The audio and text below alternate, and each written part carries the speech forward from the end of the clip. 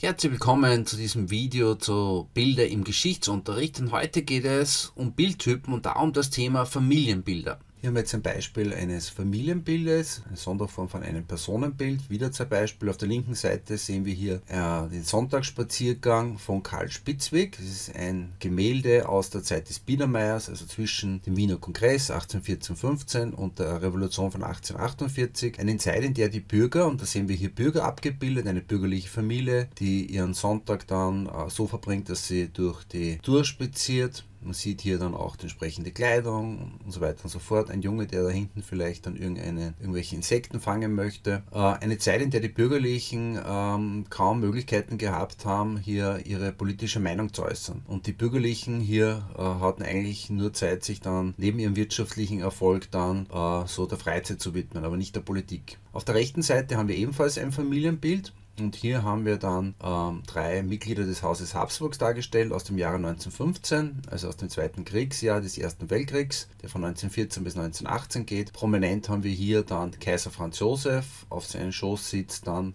der, der Nach-Nachfolger, wäre das dann gewesen Otto. Und hier haben wir dann den Nachfolger vom Kaiser Franz Josef, der spätere Karl I., der 1917 der Nachfolge von Kaiser Franz Josef dann übernehmen wird. Wir sind inmitten des Krieges, wenn wir hier die Uniform betrachten, haben wir hier verschiedene Orden. Hier haben wir zum Beispiel auch äh, das Eiserne Kreuz, dann haben wir die österreichische Militäruniform mit blauer Farbe hier der Rock. Soll dieses Bild aussagen? Dass auch die Habsburger eine funktionierende Familie darstellen. Familiäre Bilder erzeugen ja in der Betrachtung dessen, der sie zu anschaut, ja Sympathie. Auch der kleine Otto spielt auch mit Spielzeugsoldaten, wie sie eben dann die anderen Kinder dann in der KNK-Monarchie eben dann auch haben sollen. Kommen wir mal zum Hintergrundwissen. Das könnte man hier noch vermuten, ja, das ist eine nette Darstellung, ähm, aber dann die Bilder eben von Karl Spitzweg betrachtet, dann wird man wissen, dass er hier versteckte Kritik äußert. Das scheint nur nett zu sein, aber eigentlich muss man sich überlegen, was fehlt denn hier in diesem Bild. Dann hier auf der rechten Seite handelt es sich um eine Farblithografie, die im Auftrag der Habsburger dann gemacht wurde. Und die Habsburger wollten damit dann natürlich Sympathie dann erreichen. Auf der einen Seite, dass die Familie betonen, auf der anderen Seite aber auch wollten sie sich darstellen, dass sie natürlich auch äh, sich äh, im Krieg äh, befinden. Und das sieht man daran natürlich, dass dann auch der Kaiser und Peter Karl I. dann auch in Uniform zum Beispiel dargestellt werden und auch das Kind Otto dann ganz dem Kriegsgeschehen sich widmet, indem es dann hier zum Beispiel mit Spielzeugsoldaten spielt, wie es viele andere bürgerliche Kinder dieser Zeit dann auch gemacht haben. Ja, danke für deine Aufmerksamkeit und wir sehen uns sicherlich bald wieder im nächsten Video.